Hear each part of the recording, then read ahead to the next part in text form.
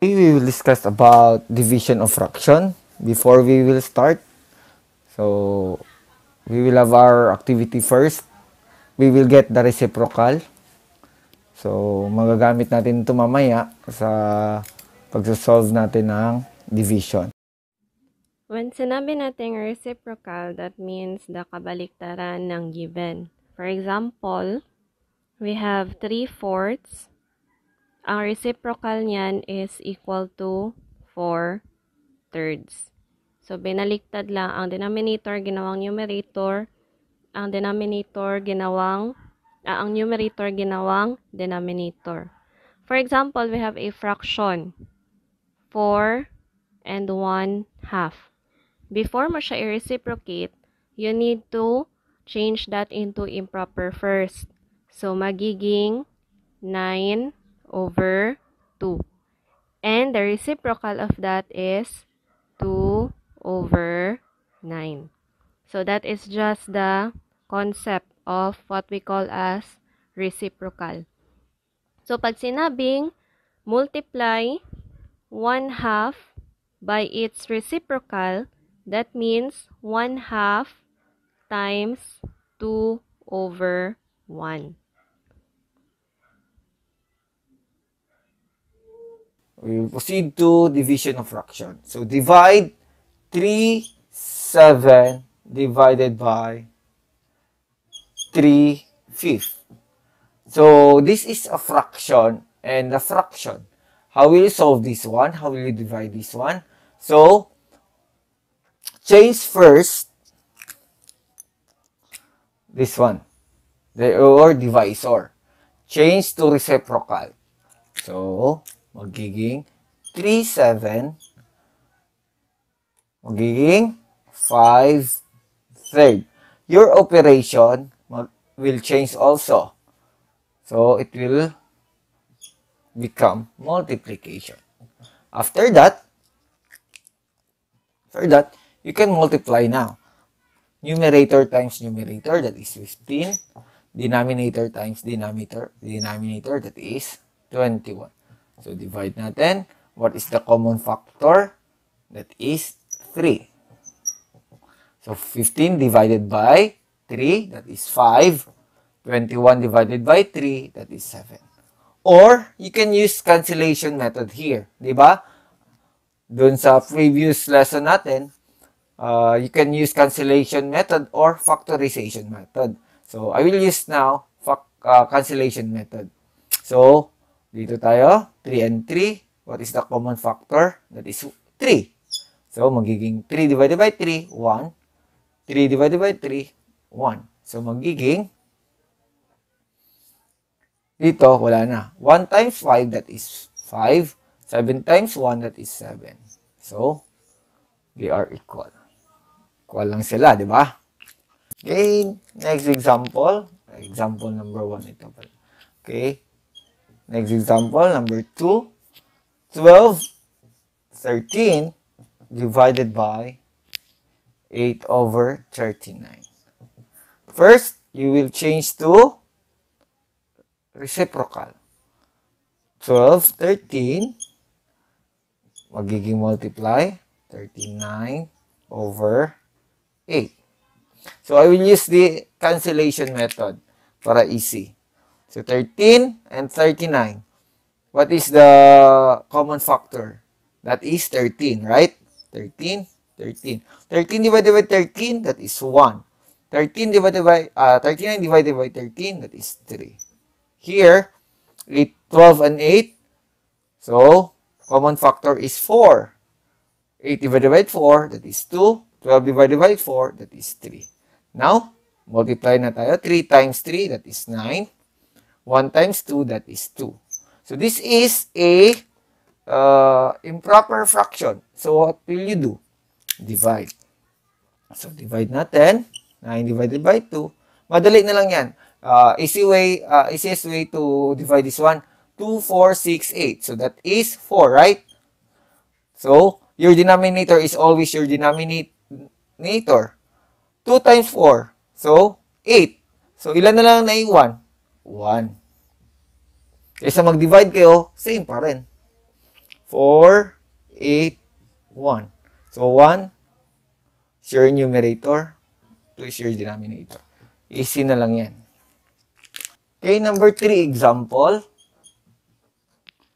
That is 5 and 1 third. Or 5 divided by 1 third. So, this is whole number and a fraction. So, what will you do is, ganun pa rin. Change to uh, reciprocal before you will divide. So, 5 times na tayo. 3 over 1. Diba? Last previous in multiplying fraction, you can add 1 or put 1 in your denominator or just simply multiply to your numerator directly. 5 times 3, that is 15. So, copy the denominator. Or this is equal to 15. Okay? Utin ko. Direct multiply to your numerator. Or else, you can add 1 here. 5 times 3, that is 15. 1 times 1, that is 1. Or that is 15. Okay, number 4 example. 16 divided by 2 and 1 fifth. So, this time, this is a whole number and a mixed fraction. So, what will you do is to change to reciprocal. So, nag gamit tayo ng activity kanina, mixed fraction to reciprocal. How will you do that? Is to change first to improper fraction. So, magiging 16 divided by 5 times 2 plus 1, that is 11 over 5. So, after that, nakuha nyo na yung improper fraction. Change, change to multiplication, your operation, then reciprocal.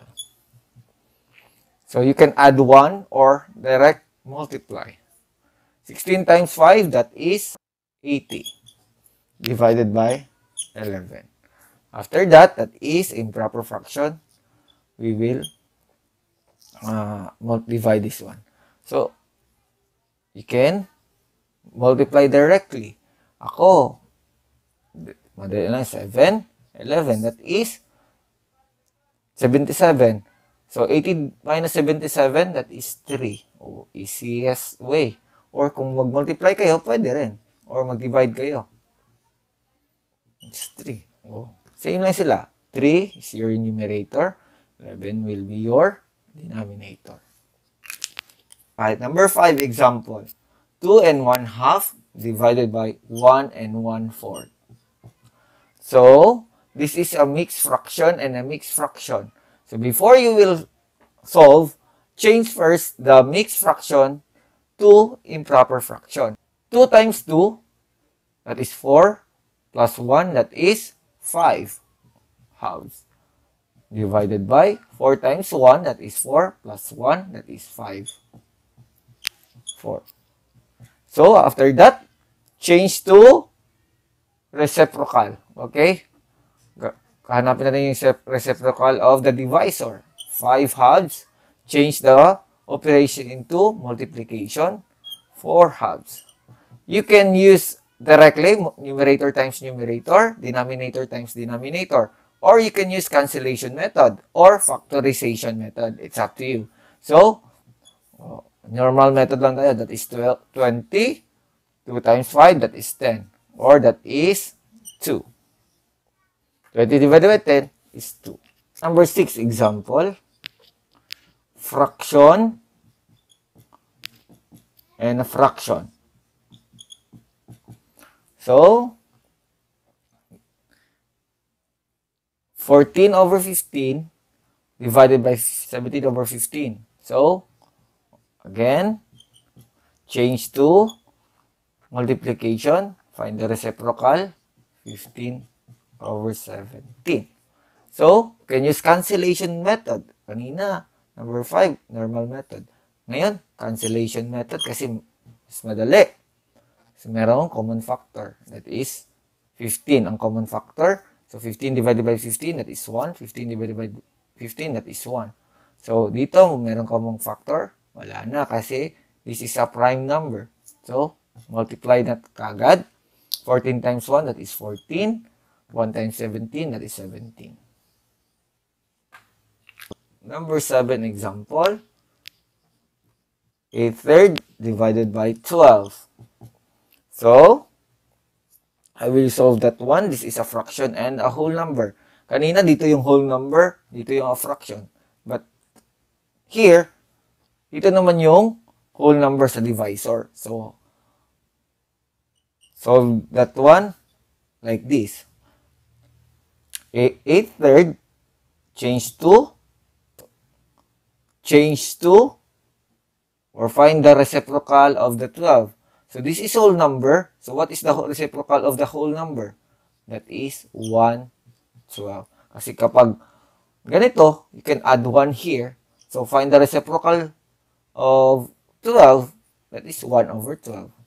So you can multiply directly or we can use factorization. So I will use factorization para iba-iba yung pa natin. 2 times 2 times 2. So, in factorization, you can use prime numbers.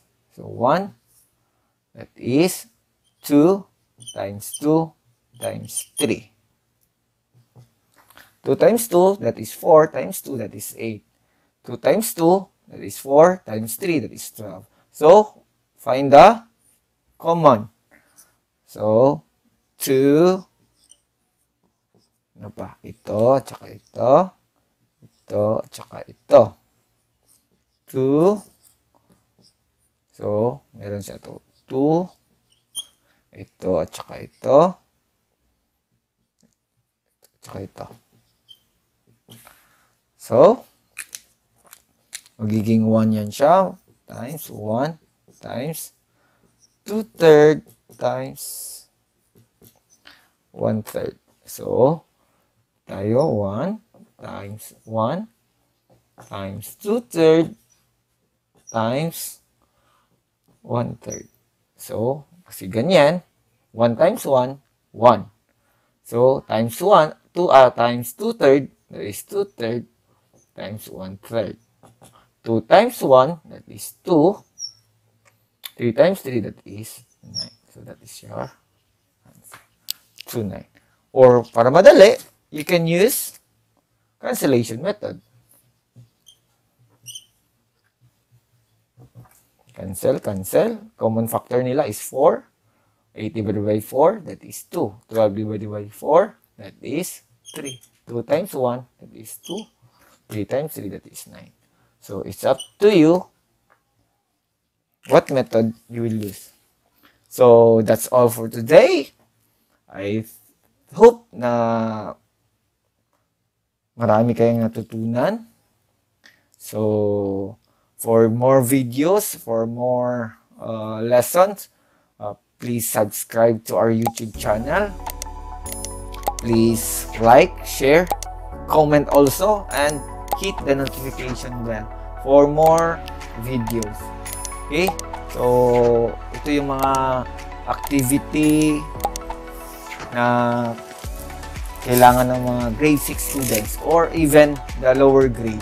Meron na silang fractions eh. So, that's all. Thank you for watching.